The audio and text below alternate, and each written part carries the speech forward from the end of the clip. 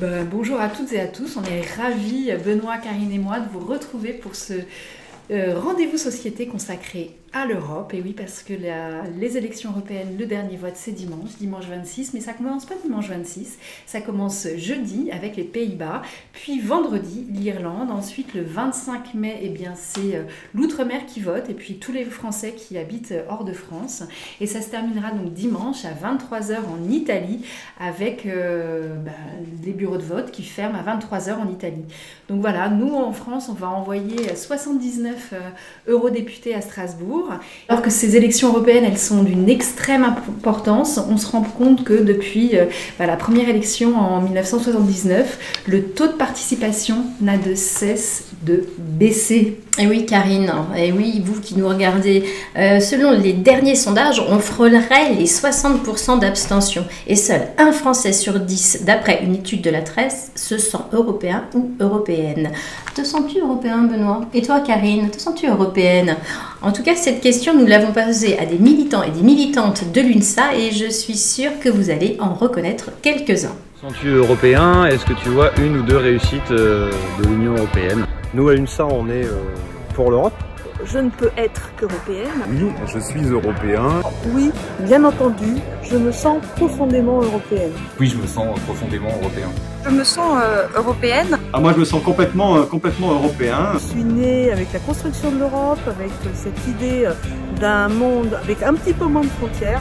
Pour l'Europe sociale, écologique, démocratique quand on fait un petit flashback euh, historique. Moi, ma première paye était euh, en euros, donc j'ai grandi euh, dans un environnement qui est totalement européen. C'était cette possibilité d'ouverture sur un territoire qui nous parle, qui est proche de nous. On n'a pas le choix parce que les grands défis aujourd'hui nous amènent à à ne pas régler les problèmes dans une seule région, un seul pays. Euh, au niveau européen, on est aussi plus fort et plus libre ensemble. Les questions de développement durable et des questions environnementales ne peuvent plus être traitées au seul niveau des États. Et l'Europe, c'est d'ailleurs euh, avant tout ça, c'est euh, des frontières en moins, c'est des rencontres en plus. Avec la Confédération européenne des syndicats, on dit vive l'Europe sociale, environnementale et, démocratique. Un des plus beaux projets pour moi, c'est bien sûr l'auberge espagnole de Cédric Capiche, c'est-à-dire Erasmus, qui permet encore tous les jours et qui a vraiment permis à de nombreux étudiants d'aller faire un petit tour d'Europe, d'aller rencontrer nos voisins et de se sentir eux-mêmes profondément européens en échangeant, en parlant d'autres langues, ayant un système universitaire euh, euh, équivalent dans lequel ils se reconnaissent, qu'ils soient en Allemagne, en France. La monnaie européenne, la monnaie unique, même si d'aucuns la décrédibilisent souvent, euh, c'est quand même un gage de stabilité en Europe. Parmi les réussites de ces dernières années, il y en a plusieurs. Il y en a une qui a été assez euh, importante il y a une dizaine d'années et qui continue à produire ses effets. C'est la mise en place d'un socle des droits fondamentaux, ce qui permet d'avoir un patrimoine commun qui ne soit pas un patrimoine uniquement économique, mais bien un patrimoine pour euh, les travailleuses et les travailleurs. C'est avant tout l'Europe des femmes et des hommes qui la font et on l'a fait euh, tous les jours, euh, ou en tout cas à chaque occasion de se voir et de se rencontrer, et aussi en allant voter dans quelques jours. C'est pas forcément celle qui est la plus importante au niveau euh, des acquis de, de l'Europe, on ne le sait pas forcément, c'est la suppression des frais de roaming sur nos téléphones. Ça coûte le même prix qu'on soit à Paris, à Bruxelles ou très loin en Europe de l'Est. Aujourd'hui où on a l'habitude de beaucoup voyager, et bah, ça facilite la vie et les communications. Pour moi, la réussite de l'Europe a été l'ouverture des frontières. Cette possibilité de voyager de se déplacer euh, euh, facilement. Et le deuxième point pour moi, euh, une réussite européenne, c'est la paix et je pense que l'Europe, ça signifie ça et que c'est important. Il faut remettre du social, de l'humain, du citoyen, de la citoyenneté, du vivre ensemble dans l'Europe, si on veut que nos compatriotes ne se replient pas mais s'ouvrent sur les autres. Et donc, euh, merci euh, à toutes les militantes et tous les militants d'avoir euh, répondu à cette question. Et donc, Benoît, pour répondre à nos questions justement sur l'Europe, pour comprendre les enjeux de ces élections européennes, nous sommes allés rencontrer quatre personnes. Et la première? La première, justement, va nous expliquer quels sont les atouts et les difficultés actuelles de l'Union européenne. Il s'agit de Nicole Niesbiotto, qui est professeur au CNAM, qui est titulaire de la chaire de l'Union européenne. C'est une spécialiste en fait de ces questions. Elle est également vice-présidente de l'Institut Jacques Delors, qui euh, a, pour but de, promouvoir en fait l'idée européenne partout euh, en France et dans le reste de l'Europe. Donc nous lui avons posé trois questions les difficultés actuelles de euh, l'Union européenne, les atouts et puis sa situation dans le monde. Maintenant, Nicole Nesotto. Bonjour Nicole Nesotto. Bonjour.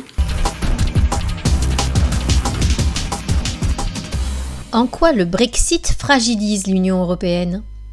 La volonté de sortir de l'Union européenne est une décision souveraine du Royaume-Uni que l'on respecte. Depuis deux ans, presque et demi maintenant que nous négocions, on peut dire que le Brexit est une catastrophe annoncée pour le Royaume-Uni. C'est clair que sur le plan politique, sur le plan du statut de l'Irlande, de l'avenir de l'Écosse, sur le plan économique, les Britanniques vont souffrir terriblement de leur décision, mais c'est une décision souveraine. Pour l'Union européenne, qui est restée très unie pendant toute cette négociation, c'est un problème, c'est une difficulté, c'est un problème en termes d'image, en termes de continuation du commerce avec le Royaume-Uni. C'est une difficulté, mais ce n'est pas une catastrophe existentielle comme ça l'est pour le Royaume-Uni. Donc ça, c'est le premier point. Ce n'est pas perdant-perdant euh, ou gagnant-gagnant. Il y a un acteur qui perd plus que les autres, c'est le Royaume-Uni.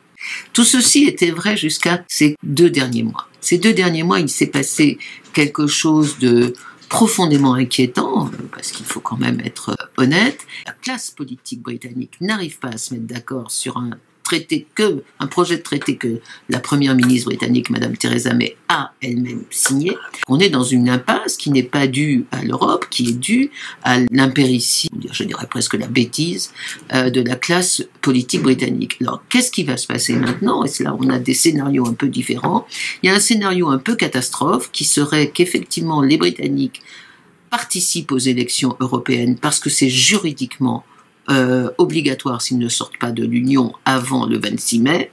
Et ça, c'est un scénario totalement ubuesque, parce qu'effectivement, ils participeraient à, à l'élection d'un Parlement dans lequel ils vont rester six mois, parce qu'après, de toute façon, ils doivent sortir au 31 octobre.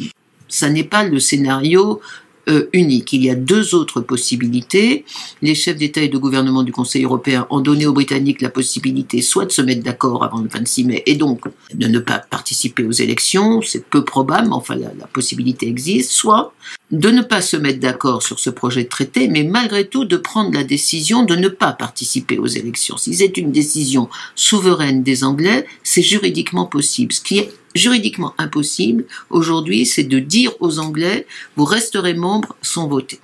Et la question que l'on peut se poser aujourd'hui, c'est quel est le, de bon équilibre entre le respect du droit et le bon sens politique. Ça, je crois que c'est une vraie question, c'est une question délicate, difficile, mais je crois que le président de la République avait raison de vouloir donner un deadline antérieur à la date du 26 mai, c'est-à-dire des élections européennes, parce qu'il y a des moments où le bon sens politique doit l'emporter. Le risque, effectivement, étant que les Anglais, par euh, peut-être par perversité ou tout simplement par impuissance, essayent de ne pas mourir seuls et de faire en sorte que l'Union européenne euh, s'engouffre avec elle dans une catastrophe sans fin. J'espère que ça ne sera pas le cas. Malgré les difficultés, quels sont les atouts de l'Union européenne? Merci de poser la question sur les atouts, parce qu'en règle générale, la presse, les commentateurs parlent surtout des crises et des difficultés de l'Union. Le premier atout, c'est quand même celui du poids, du nombre. Dans la mondialisation, ce sont les grands États, les grandes puissances qui aujourd'hui euh, comptent et emportent le, rythme des évolutions internationales. Et quand on compare par exemple avec euh, un pays euh, qui est une grande puissance de l'Europe, par exemple la France, la France c'est 1% du territoire émergé de la planète, 1% de la démographie mondiale et 4% du PIB mondial. Donc c'est pas beaucoup par rapport à la Chine qui fait 20-20-20.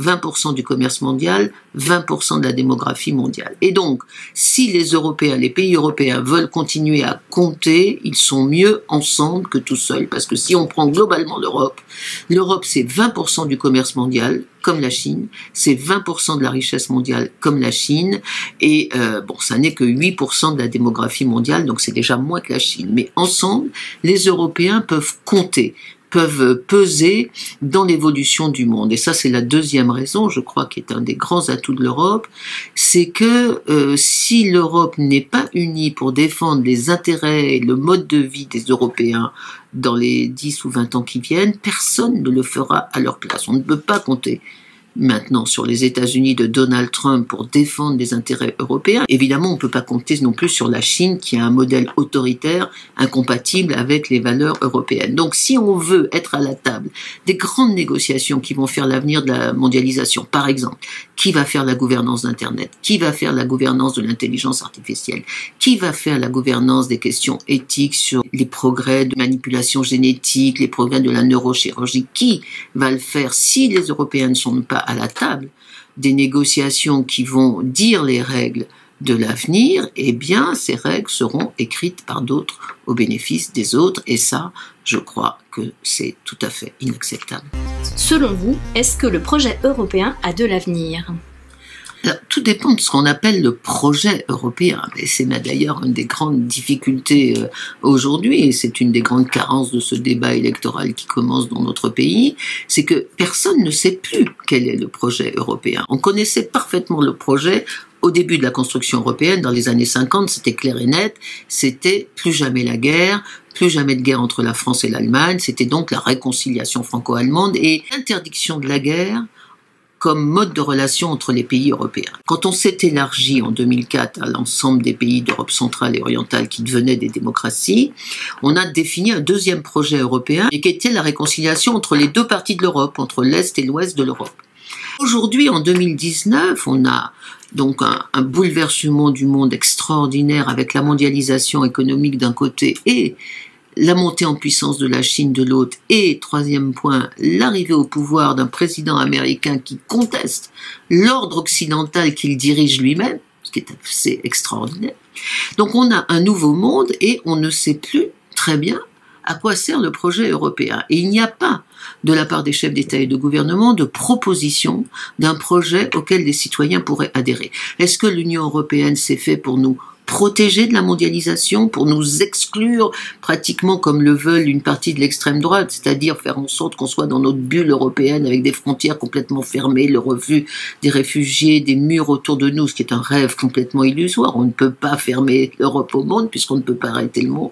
Est-ce que c'est au contraire un tremplin pour nous aider à sauter dans la mondialisation et réussir à retrouver de la croissance, de la prospérité? Ça, c'est le projet d'Europe ultra-libérale que défendent notamment une partie des Scandinaves et des, Pays-Bas et les Britanniques quand ils étaient membres de l'Union européenne. Euh, est-ce que c'est, en tout cas, troisième euh, possibilité, à la fois pour nous protéger des excès de la mondialisation, mais en même temps pour essayer d'influencer la mondialisation, non pas seulement de la subir, mais d'agir sur l'évolution du monde, d'être présent dans la table des négociations, à la table des négociations qui vont parler de l'avenir du monde. Ça, c'est le projet français, c'est-à-dire une Europe qui à la fois protège les perdants de la mondialisation parce qu'on a chez nous des classes moyennes qui effectivement sont paupérisées par l'évolution de l'économie internationale. Donc une Europe qui protège ces catégories sociales tout en donnant aux Européens une espèce de puissance collective, une volonté d'être souverain dans le monde et, de, de, de défendre leurs intérêts par eux-mêmes et pour eux-mêmes. Donc, on a trois projets sur la table. Un projet que je trouve totalement irréaliste de, de, de, de, retour aux nations et d'une Europe euh, souverainiste, nationaliste, voire xénophobe. Un projet ultralibéral qui peut se défendre mais qui a des, des coûts sociaux terribles. Et un projet, je dirais, libéral-social qui est à la fois de continuer à développer le marché pour assurer un minimum de croissance, mais de, de, de, de faire en sorte que les classes moyennes s'y retrouvent tout en donnant aux Européens collectivement, face à Donald Trump, face à la Chine, les moyens euh, de leur autonomie stratégique. Merci à Nicole Niesotto d'avoir répondu à nos questions. Et maintenant, Françoise Thébault. Françoise Thébault est historienne, spécialiste des femmes.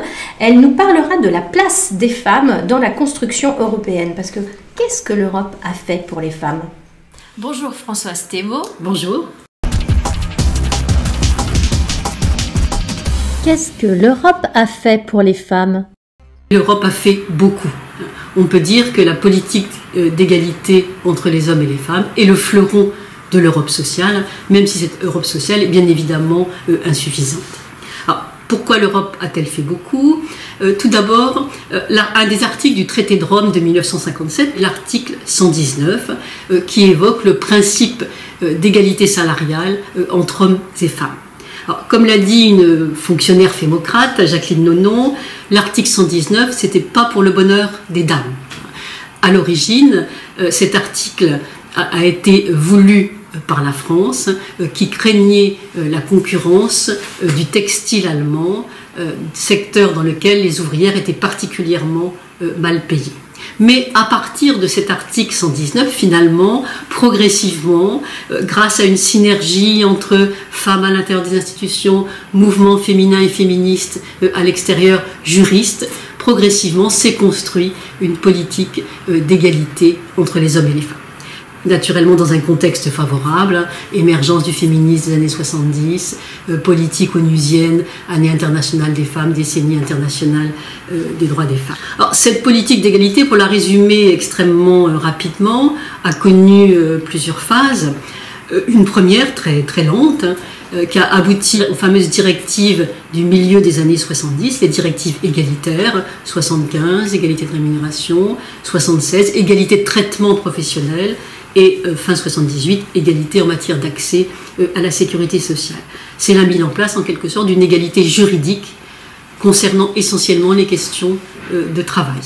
Deuxième étape, la volonté d'aller, sous la pression des mouvements féminins et féministes, la volonté d'aller vers une égalité plus réelle entre hommes et femmes, donc une politique d'action positive pour rattraper en quelque sorte les retards que subissaient les femmes dans différents domaines cette politique d'action positive, ce sont des programmes avec euh, beaucoup d'argent, hein.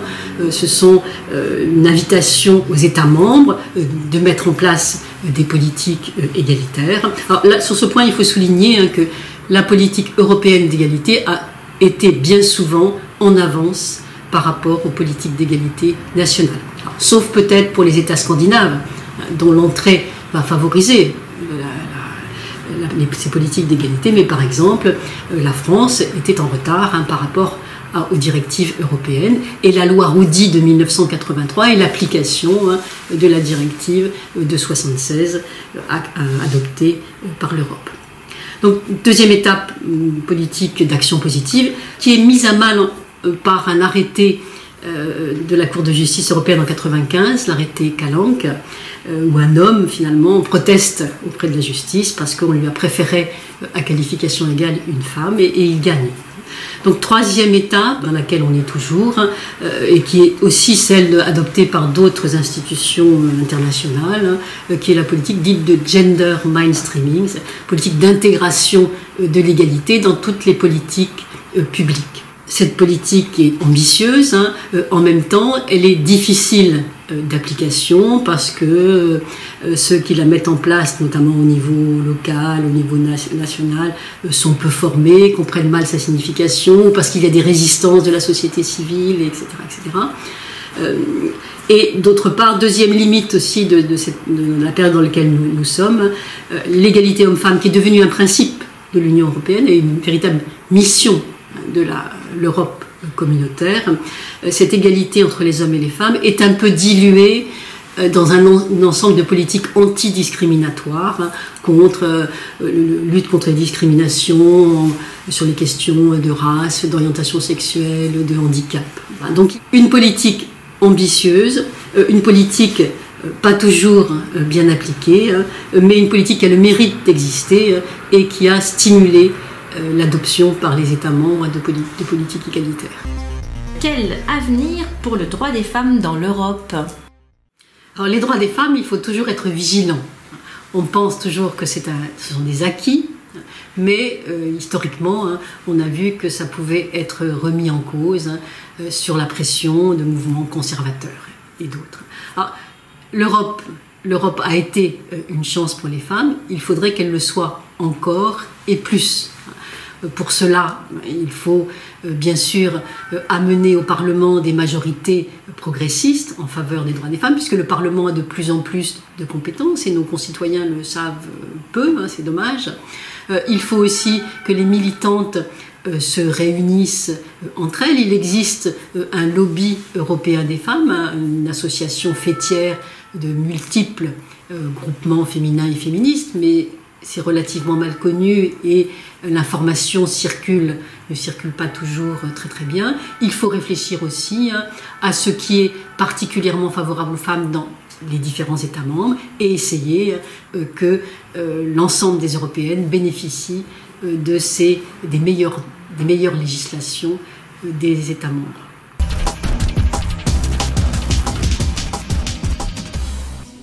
Merci à Françoise Thébault donc d'avoir répondu à nos questions. Et maintenant, Karine et eh bien maintenant, nous allons écouter Christian Chevalier. Donc Christian Chevalier représente l'UNSA Éducation au CSEE e et nous lui avons posé trois questions. Trois questions. En quoi l'Europe concerne-t-elle l'éducation? Parce qu'effectivement, on est une fédération des métiers de l'éducation. Le lien entre Europe et éducation est-il évident? C'est la question à laquelle il va nous répondre. Ensuite, il va nous expliquer aussi ben, qu'est-ce que le CSEE e? Et troisième question, en quoi consiste la campagne Façonner l'avenir de l'Europe pardon, avec les enseignants Bonjour Christian Chevalier. Bonjour.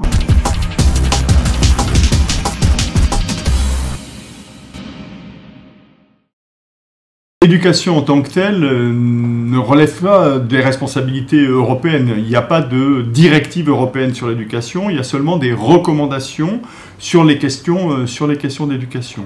Ceci étant, euh, on voit bien aujourd'hui qu'il euh, y a une volonté d'unifier, en tout cas de donner de la cohérence euh, au système éducatif dans leur grande, dans leur grande diversité, puisqu'on parle aujourd'hui d'espace européen de l'éducation, et on a tous en tête évidemment à la fois Erasmus et à la fois le LMD dans le supérieur, qui ont été des moments extrêmement importants d'unification des systèmes éducatifs. On voit que pour ce qui concerne euh, l'école, l'école primaire, le collège ou, le lycée, euh, c'est beaucoup plus complexe et beaucoup plus difficile, puisque l'histoire des systèmes éducatifs dans les pays européens est extrêmement diverse. Les cultures aussi, les formations des enseignants aussi. Donc la tentative de la tentation de vouloir tout réguler et homogénéiser est, est extrêmement difficile. Ceci étant, ce qu'on observe, c'est que, au fond, par, des entrées euh, un peu, un peu détournées, euh, euh, la Commission européenne, l'Europe, en tout cas si elle n'impose pas, met en place un nombre de tendances deux exemples. La question du décrochage scolaire qui a été prise à bras le corps. Euh, en gros, euh, il y a euh, presque une dizaine d'années aujourd'hui, c'était à l'époque Châtel qui était ministre de l'Éducation nationale. C'est pas une décision française parce qu'on s'est rendu compte qu'il y avait des difficultés avec le décrochage scolaire. C'était une politique européenne. Et on a attaqué la question du décrochage scolaire parce qu'au niveau européen, on s'est rendu compte que c'était un gâchis, un gâchis social et un gâchis économique. Et on s'est dit, euh, euh, essayons de faire quelque chose, d'avoir une politique un peu cohérente. Et donc on a incité les États, on a recommandé aux États euh, de développer une politique sur le décrochage scolaire. Et on voit d'ailleurs qu'en France, cette politique qui s'est installée dans la durée, quelles que soient les alternances politiques, hein, depuis maintenant quasiment euh, trois, trois quinquennats, cette politique a donné des résultats, puisqu'on était euh, à 130, 140 000 décrocheurs, et on est passé en dessous de la barre des, 100 000 décrocheurs, on doit être à 90 ou 80 000 aujourd'hui. Donc on voit que ça, ça, ça a une influence. De même, euh, on a eu aussi, on le voit bien, euh, quasiment chaque président de la République et chaque gouvernement nous sort un plan sur l'apprentissage, et l'apprentissage fait partie des dadas, au fond, euh, de euh, la Commission européenne. Mais là encore, on voit bien que c'est une entrée économique qui prime, plus qu'une entrée éducative ou pédagogique, sachant que sur la question de l'apprentissage, on a là encore, dans les systèmes éducatifs européens, des vraies différences euh, entre un système allemand où l'apprentissage est vraiment euh, quelque chose de reconnu et d'intégré, et en France où on a plutôt un enseignement professionnel dans l'éducation nationale qui est euh, encore extrêmement important et extrêmement fort par rapport à l'apprentissage, d'où d'ailleurs les difficultés que rencontrent les plans divers que mènent les gouvernements sur l'apprentissage dans notre pays.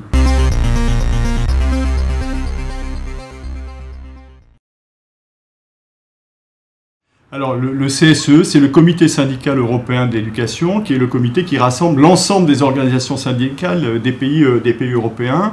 Et c'est l'Europe au sens, au sens large, c'est l'Europe de l'Atlantique à l'oral, puisque ça va de la France jusqu'à la Russie, en passant par le Kosovo, la Serbie, les pays, les pays du Nord. Et puis on trouve aussi dans le CSE, de façon un peu atypique aussi, la Turquie et Israël qui siègent aussi dans ce, dans ce comité syndical européen, donc, qui rassemble donc quand même quelques millions d'enseignants et quelques, quelques cinquantaines, soixantaines de, syndicats de, de tous ces pays. Et donc le comité syndical européen de l'éducation a un rôle important, notamment auprès de la communauté européenne, où il a un rôle de, lobby très clairement, et, et, où on est attentif justement sur les recommandations, sur les entrées. Récemment, par exemple, on est intervenu sur la question du droit d'auteur, puisque le droit d'auteur impacte aussi euh, évidemment la question des livres scolaires, euh, des universités, etc.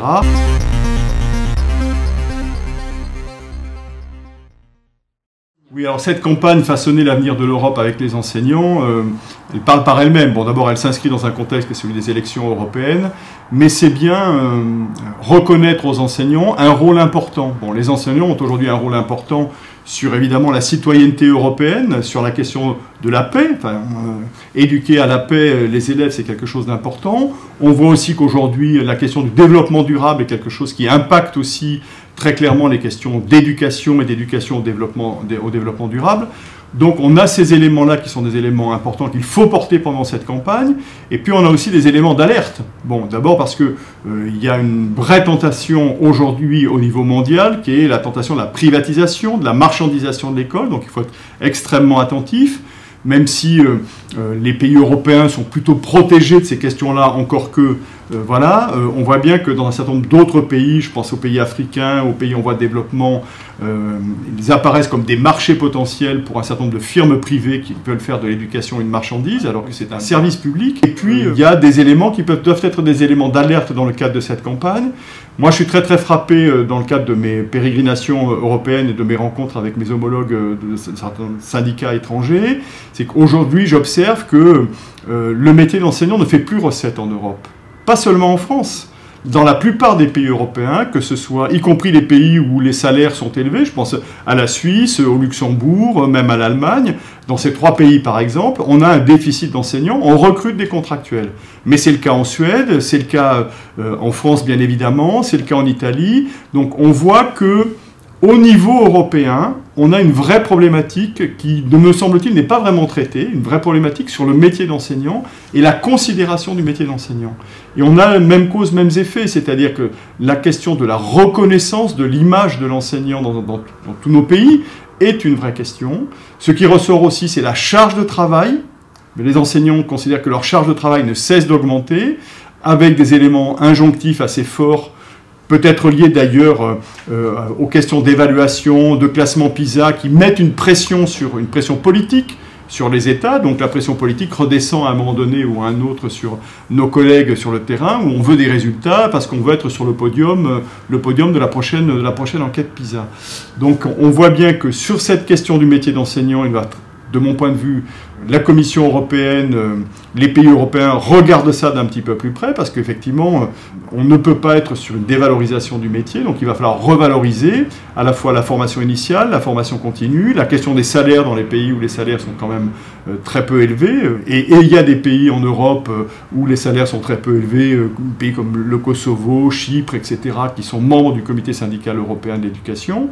Donc on voit que là, il y a un vrai travail de fond, fond à mener, parce qu'on ne peut pas avoir une politique où on veut créer un espace européen de l'éducation.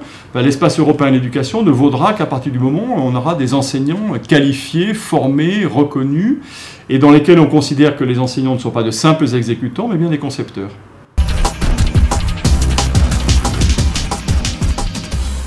Et oui, voilà, merci beaucoup Christian de nous rappeler euh, euh, l'essentiel rôle des, euh, des enseignants. Ce rendez-vous société, il n'arrive pas tout seul, il s'inscrit dans une grande campagne, plus largement, une campagne à voter pour nous, pour notre projet, pour le projet qu'on défend, une Europe démocratique, sociale et écologique, et un appel à voter du coup contre les replis nationalistes. Et Karine, est-ce que tu peux nous en dire un peu plus pour, de cette campagne? Alors comment elle s'organise? Alors, eh bien écoutez, depuis jeudi dernier, vous avez pu trouver sur Facebook, sur sur Twitter et sur notre chaîne YouTube Une Éducation des vidéos. Une vidéo par jour. Une vidéo par jour qui ne vient pas toute seule puisqu'elle est accompagnée à chaque fois d'un article que vous pouvez retrouver sur notre site Une Éducation. Vous avez peut-être remarqué que derrière nous, Voilà. c'est une photo Voilà. du Parlement européen. Nous n'y sommes pas.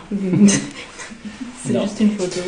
Et surtout, euh, vous le savez maintenant, il vous reste euh, plus qu'une chose à faire, c'est dimanche ou samedi pour ceux qui nous regardent d'outre-mer ou de pays étrangers peut-être. Exactement. Si vous nous Euh, regardez euh, de- de- du hors de France, vous votez euh, samedi exactement comme l'outre-mer. Voilà. Et donc dimanche, euh, votez bien. Alors non, il reste pas qu'une seule chose à faire. hein. Euh, il vous reste à partager cette vidéo, il vous reste à vous abonner à notre page Facebook, il vous reste à suivre les autres vidéos qui sont à venir. hein.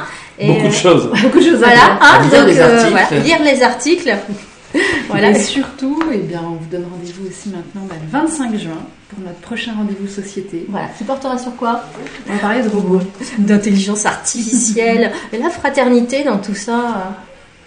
Eh ben, Est-ce qu'on peut être fraternel avec des robots, des machines? Mm, C'est ça, donc ça c'est un vaste sujet et un sujet qui est quand même bien d'actualité, vous le verrez. euh. Donc du coup, on s'est dit le 25 juin, même heure, même endroit chez vous, sur votre canapé, euh, devant votre écran, avec une bonne nous. connexion. Et, ah, pour nous suivre, il faut une très bonne connexion. Mais vous pouvez nous voir en replay. À bientôt À bientôt À bientôt